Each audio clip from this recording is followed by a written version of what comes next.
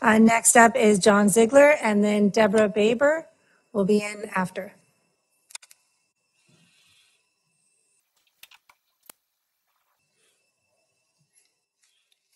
After waiting for two hours and now getting two minutes, I'll get right to the point.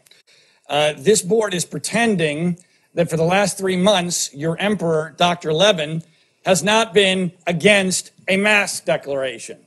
Now, all of a sudden, we're pretending that masks are everything, even forcing speakers to use masks. I would like the board to take a position. Was Dr. Levin wrong for those three months? And if he was this wrong, why has he not been removed?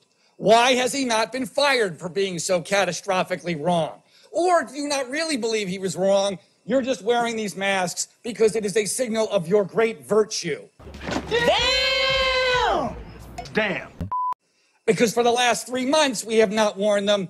And Ventura County has done outstandingly well and continues to do outstandingly well because we are not Los Angeles. We are not New York City. We never were going to be any of those things. Ironically, this is one of the few things Dr. Levin was actually right about.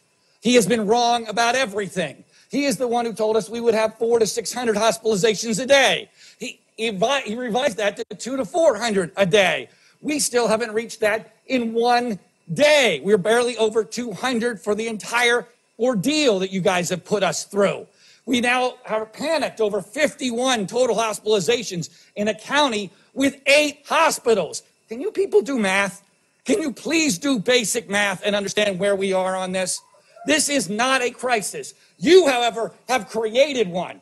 You, in an effort to try to prevent all death, when we've had 43 deaths, have now ended all relevant life. And you should all be ashamed of yourselves. And this will never be forgotten, ever be forgotten. You will all be held accountable eventually in this life or the next. You all better hope there is no hell because when you die, that's where you're going. And guess what? You're not going to be dying of COVID either.